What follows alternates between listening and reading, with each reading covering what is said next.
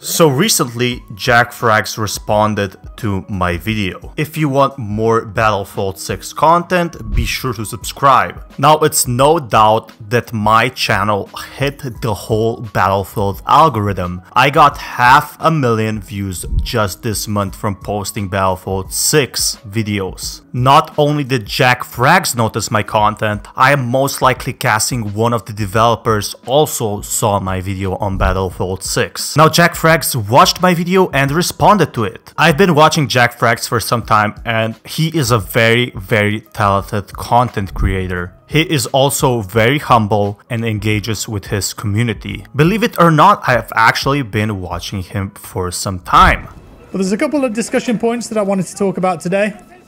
In the Battlefield community over the last few weeks, there's been a lot of discussion about what the next game will be, and I've seen all kinds of posts popping up on Reddit.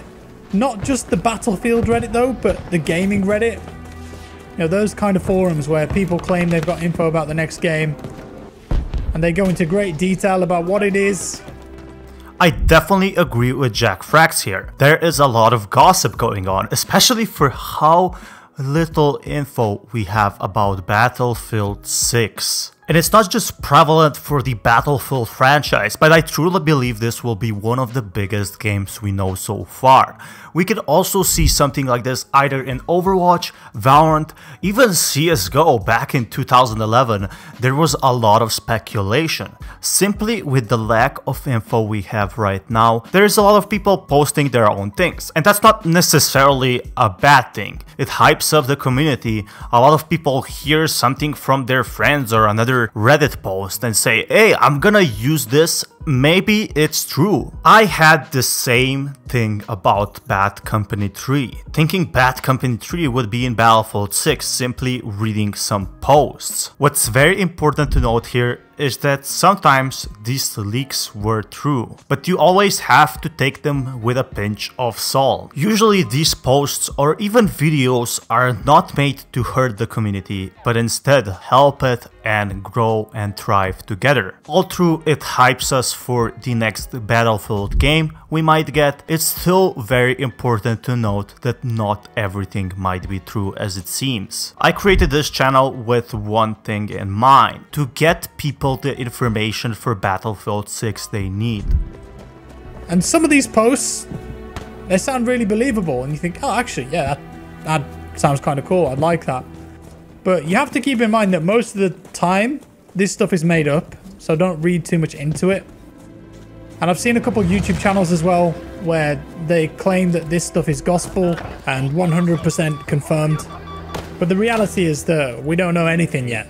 This is the mistake I made. I have to take accountability for this. I didn't let people know that these are just some sort of unconfirmed reports of what might Battlefield 6 seem to look like, or not look like for that matter. And I also will get that later on into the video. Seems like in the past month my channel has really been getting a lot of attention, and with a lot of attention really comes a lot of accountability. Seems like Jackfrags is also mentioning my channel and most likely other channels as well that do the same thing. I can definitely tell you I get hyped about this game a lot because I've been waiting for it for some time. That being said, I truly believe that developers put a lot of effort into this game and it will be really, really good. That being said, Jackfrags is totally right. With a lot of speculation going on, not everything is true. The only things that we know about the next game really what they've said in the investors calls and the EA investors calls.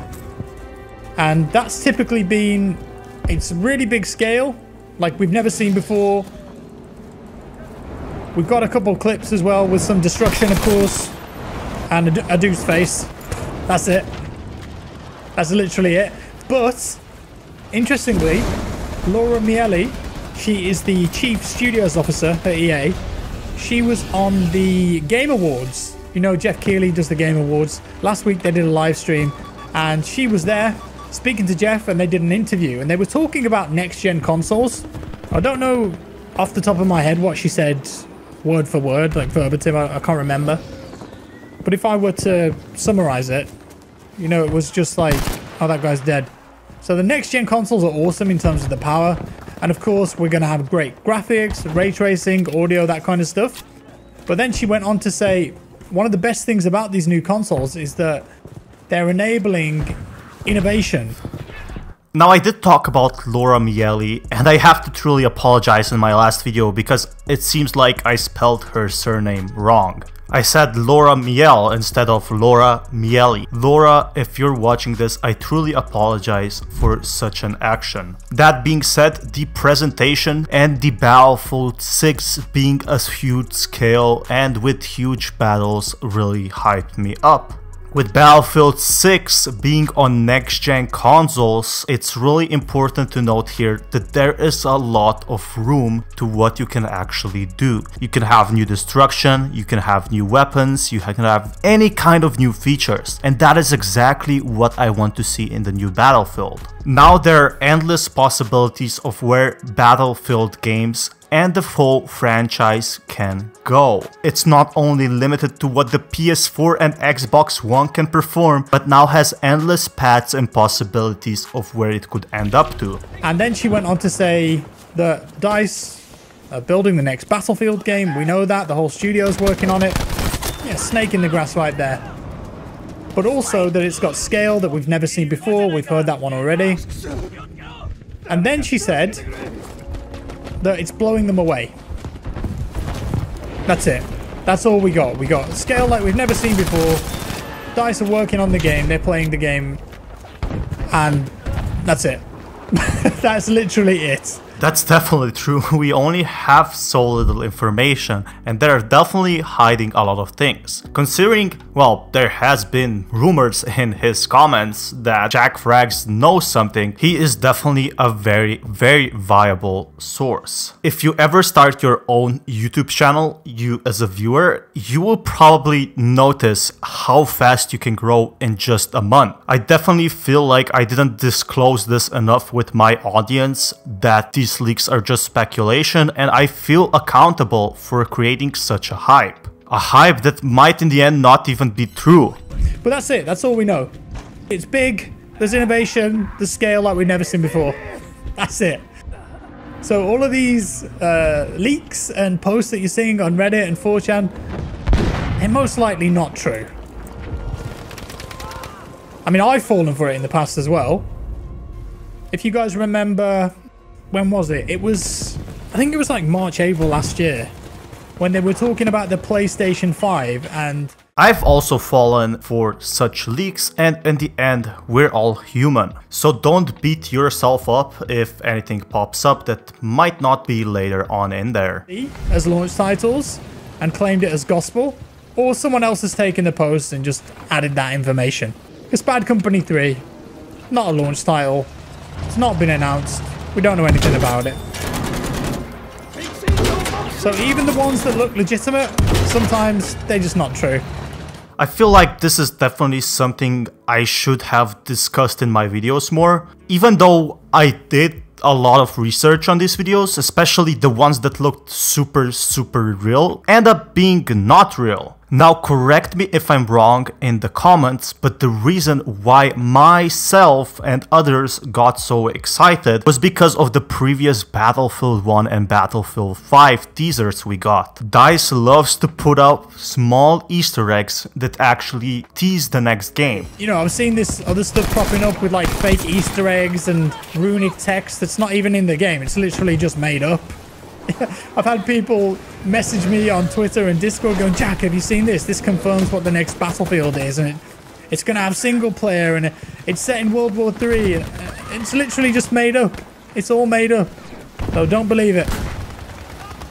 Now that is my most popular video. The original Easter egg video was in German and I made a huge mistake. I thought the, the M1 Garand Easter egg was connected with this runic kind of tease about Battlefield 6. I honestly made a huge mistake thinking that DICE put this out in the book, which is not true and I should have been more careful. Now I honestly deeply deeply apologize to anyone working at DICE considering I spread some information that was not confirmed. I'm most likely guessing someone from DICE is also watching my videos, so I very deeply apologize from the bottom of my heart. The main point of this channel is bringing a community together, and honestly, I will be very, very more careful after this video. We all get excited, including me, a person sitting behind this channel. I'm also a huge fan of the Battlefield franchise, and the next game we will get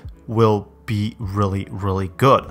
Yeah, it's, it's okay to get excited, of course, but most of the time, it's probably just made up. Look at these little guys up here crawling. I'm also very excited about Battlefield 6 personally, but moving from now on, this channel will be more transparent. Battlefield 6 is still 11 months away, which considering by the time and how fast it goes, that's not necessarily long. 11 months goes by fast, and especially since we're getting something in 3-4 months, it's definitely possible that this game will be big. One thing is for certain, and it doesn't even require any leak confirmations or anything like that.